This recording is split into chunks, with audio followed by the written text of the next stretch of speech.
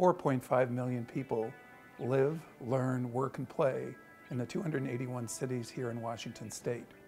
Here at the Association of Washington Cities, we work hard to keep them strong and vibrant. We've spent the last six months traveling back and forth across the state, listening to what's important in communities large and small. Now it's time to engage the governor and legislators here in Olympia and see what we can do to advance the city agenda. Up here on the Capitol campus, the 2015 legislature has convened and will be here hopefully no more than 105 days, ending their business on April 22nd. They're here to adopt a budget. The decisions they'll make will have long-lasting and short-term impacts on our 281 cities. Our priority agenda is straightforward.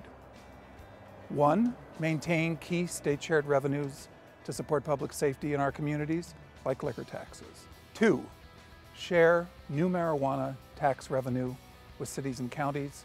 The impacts will be felt most in our community and the enforcement needs to occur there. Three, provide the tools and revenue necessary to maintain city streets, the streets where most trips start and end every day.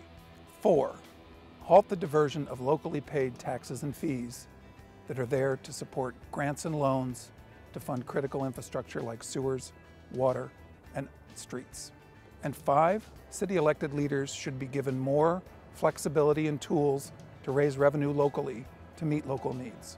Throughout session, we'll continue to oppose unfunded mandates, remind legislators that one size rarely fits all, and that supporting strong cities really helps keep this a great state.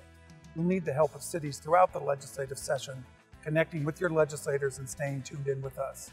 Suggestions of things that you can do right now Make sure that your legislators understand your priorities. If you haven't adopted them, use AWCs. Second, schedule regular check-in times with your legislators, a phone call, a weekly phone call. And finally, stay up with what's going on here in Olympia throughout the next 15-week session by taking a look at our weekly legislative bulletin that comes to you every Friday afternoon. Stay tuned for more check-ins during session as the session unfolds. Thank you.